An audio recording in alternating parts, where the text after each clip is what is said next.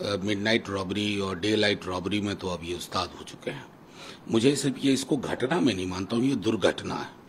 और इस दुर्घटना का बिगुल तो प्रधानमंत्री जी ने भोपाल में फूक दिया था। सत्तर हज़ार करोड़ के घोटाले गिनाए थे एनसीपी के। अब क्या हुआ ना कि पहले लोग टैक्स हेवन ढूंढते थे विदेशों में। अब तो दीनदयाल उपाध्याय मार्ग पे टैक्स हेवन पड़ा हुआ है। आओ, सीधे हम मुझमें शामिल हो जाओ।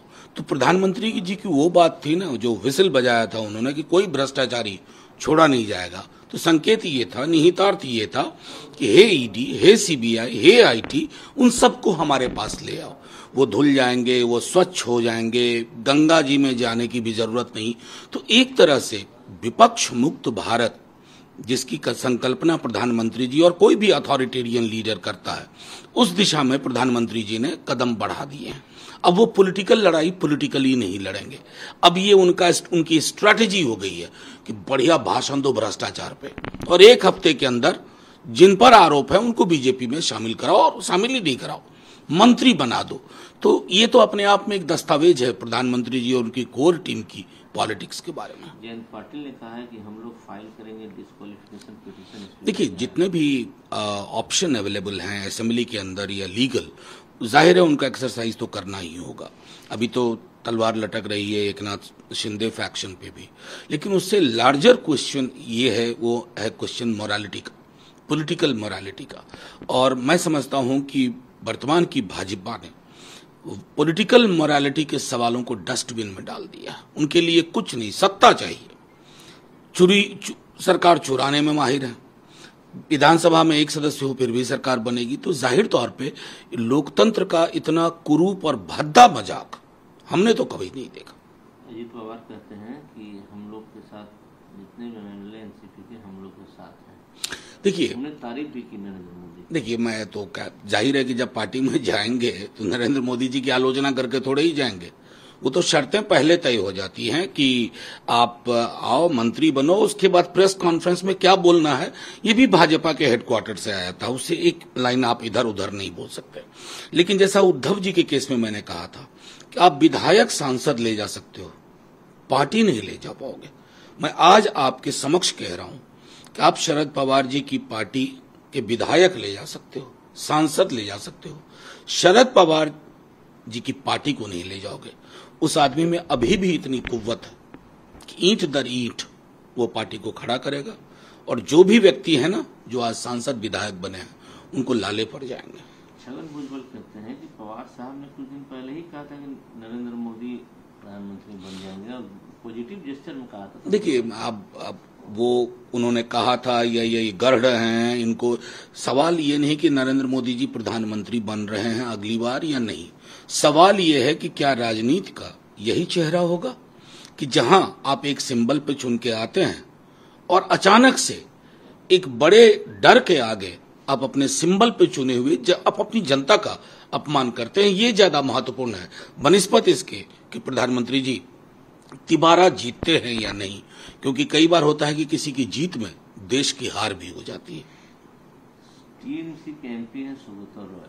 उन्होंने कहा है कि don't want opposition to have impact TMC alone is capable to fighting parliamentary election in Bengal and we do not need opposition unity. देखिए इस तरह की कई चीज़ें होंगी कई कई बयान आएँगे अलग अलग हलकों से। हम जानते हैं कि अपोजिशन यूनिटी में इस तरह के बयान आते रहेंगे। लेकिन लार्जर गोल जो है जिस लार्जर गोल के बारे में ममता जी बहुत स्पष्ट है आ, सारी पॉलिटिकल पार्टीज़ स्पष्ट है। वो लार्जर गोल है एक प्रगतिशील एक प्रोग्रेसिव ऑल्टरनेटिव देना।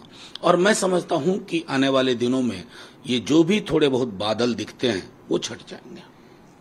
जी ने भी सवाल प्रफुल्ल पटेल पटना जाते हैं शरद पवार अब देखिए ओवैसी जी के बयान को तो मैं इतर रखता हूँ क्योंकि वो तो चित भी मेरी पट भी मेरी अंटा मेरे फलाने फलाने का उस तरह की राजनीति से मैं समझता हूँ कि अगर हम निंदा करते हैं बीजेपी की डॉग विसिल पॉलिटिक्स का उसके खिलाफ खड़े हैं तो कहीं न कहीं उसी डॉग विसिल पॉलिटिक्स का दूसरा स्वरूप ओवैसी साहब लेके आते हैं। सिंधे ने एक नाथ सिंधे ने कहा कि अब ट्रिपल इंजन की सरकार। अब पता नहीं, देखिए, तीन इंजन के बाद तो बीमारी ही होती है। मैंने तो देखा है। आमतौर पर ये डबल इंजन जिस महापुरुष ने पहली बार प्रयोग किया तो उसके भी हमने नतीजे देखे अलग अलग राज्यों में कि जहाँ आपकी सरकार नहीं है, वहाँ आप एड रोक देते हो, जीएसटी के टाइम पे भुगतान नहीं होता है। अभी कर्नाटका में चावल की समस्या आप खड़ी कर दे रहे हो। तो ये राजतंत्र नहीं है कि आप डबल, ट्रिपल कर ले। हाँ ट्रिपल इंजन में एक जो एकनाथ शिंदे जी वाला इंजन है वो कितने दिन रहेगा? ये सवाल के घेरे में। अरविंद केजरीवाल की बात कर लो उन्होंने कहा कि छत्तीसगढ़ को अब करप्शन के लिए जाना जाएगा। कांग्रेस और बीजेपी दोनों वहाँ देखिए ये वो अक्सर कहा करते हैं अलग अलग राज्यों में।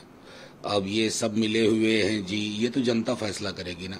क्योंकि जो छत्तीसगढ़ से खबरें हमें आ रही हैं कि कांग्रेस वहाँ रिपीट हो रही है। मायावती कहती है कि यूनिफॉर्म सिविल कोड के खिलाफ वो नहीं है, लेकिन जो तरीका है, देखिए यूनिफॉर्म सिविल कोड के बारे में हमारे पार्टी की स्पष्ट राय है कि इसको डॉग वेसिल पॉलिटिक्स मत बनाइए। जब कॉन्स्टिट्यूंट असेंबली में इस पर चर्चा की गई थी तो कहा गया था कि अभी इसको रोक दो, इसको डायरेक्टिव प्रिंसिपल्स में रखो। क्योंकि माहौल अभी ठीक नहीं है, लोगों के बीच में नफरत और घृणा की दीवारें बीते नौ दस वर्षों में तो वो दीवारें और मुकम, मज़बूत हो गई हैं, नफरत और घृणा की। प्लस इसको लोग हिंदू मुसलमान क्वेश्चन बनाते हैं, ये है ही नहीं। आदिवासी अधिकारों की बात है, उनकी परंपराओं, उनके रीति रिवाज की बात है। हिंदू धर्म में शादी सेक्रामेंट, इस्लाम में कॉन्ट्रैक्ट, इस और तीन सौ इकहत्तर का मामला है कुछ राज्यों का। शेड्यूल सिक्स का मामला है। ये बहुत विशद पहलू है जिस पहलू पर बिना सोचे समझे प्रधानमंत्री जी ने टिप्पणी कर दी। लेकिन अपने ही लॉ कमीशन की रिपोर्ट का एक पन्ना नहीं पढ़ा। अगर प्रधानमंत्री जी पढ़ते या उनके सलाहकार उनको पढ़ने की सलाह देते तो वो भोपाल में वो नहीं बोलते जो वो बोल बैठे। राहुल गांधी ने बीआरएस को बीजेपी की बी टीम बताया है। देखिए ए टीम बी टीम से इतर कल की मीटिंग उनकी मैंने विजुअल्स देखी। बहुत पावरफुल विजुअल्स हैं। ज़ाहिर तौर पर तेलंगाना और आंध्रा में कांग्रेस एक समय बहुत मज़बूत हुआ करती थी, जब कंबाइंड था। तो ज़ाहिर अपने वो पॉलिटिकल नैरेटिव को अगर लोगों तक ले जा पा रहे हैं और उसको ट्रैक्शन मिल रहा तो हम शुभकामनाएँ देते हैं।